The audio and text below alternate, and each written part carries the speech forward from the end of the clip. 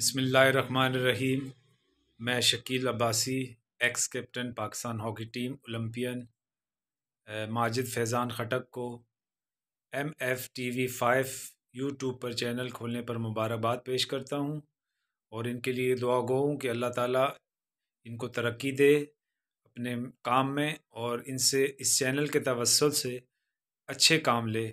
शुक्रिया।